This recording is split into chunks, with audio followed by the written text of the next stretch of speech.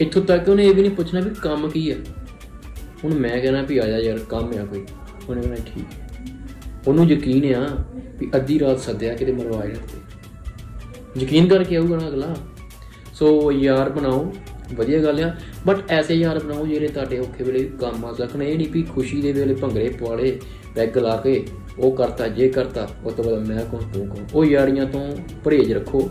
ਤੇ ਬਾਕੀ ਯਾਰੀਆਂ ਬਣਾਓ। ਇਹ ਮੈਂ ਨਹੀਂ ਕਹਿੰਦਾ ਵੀ ਯਾਰ ਨਾ ਬਣਾਓ। ਯਾਰ ਬਣਾਓ, ਪਰ ਚੰਗੇ ਬਣਾਓ। ਹਾਂਜੀ।